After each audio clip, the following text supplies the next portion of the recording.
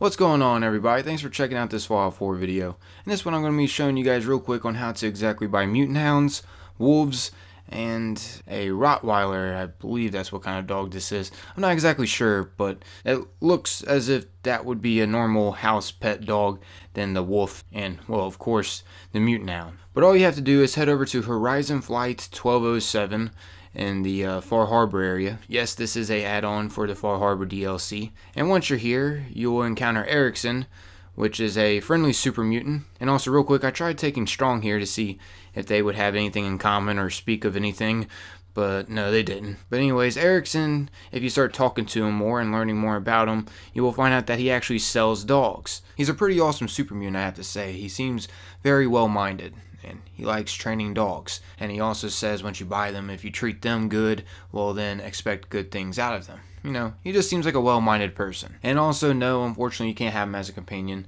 although that would be pretty badass. Anyways, enough about that jibber jabber. In case you're wondering, um, while you're talking to him, do you have to have any type of skill requirements to be able to purchase these dogs? And no, you don't have to. Only requirement is 250 bottle caps to be able to buy one of these. And you can buy more than one, just because if you buy one of the named dogs, which as you can see their names are Gracie, Mishka, and Duke. And say like you purchase Gracie, you can buy more than one mutant hound, except the other mutant hounds aren't going to be named. Gracie is the only named mutant hound. It's pretty awesome to know how you can take them to your settlements and have them protect there.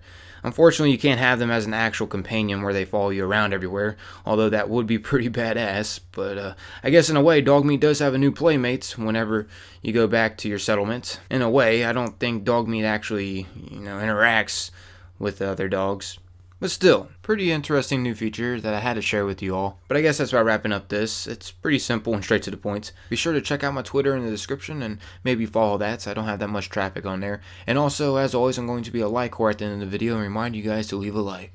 I know, I'm such a slut. If you want, you don't have to leave a like. You can just instead just comment, Rifle, you need to shut your dirty whore mouth up. You need to stop telling me to like your videos. Why do these YouTubers just say to like the video? You know, I will like the video if I actually want to. You don't have to remind me. You know what? Just because you reminded me, I'm disliking every single video of yours and flagging every single one. And also unsubscribing. I hope you get banned from YouTube. You dirty slut bag, I'm tired of you. That's completely understandable if you're thinking that. I just, you know, I have this like habit of reminding you guys because I feel like it helps me out in some kind of way if I remind you all to leave a like because some of you guys might be forgetful. But yeah, I'll catch you all on the flip side. Thanks for watching. Peace out.